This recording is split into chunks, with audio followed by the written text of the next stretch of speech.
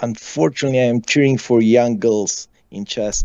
I I'm still cheering for my daughters always, but in a way, I I cannot cheer against young girls playing chess. Alex is a young girl playing chess. Yeah, yes.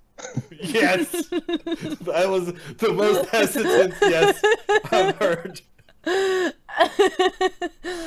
okay. All right. Okay, we're walking into territory that Alex does not like for me to to talk about.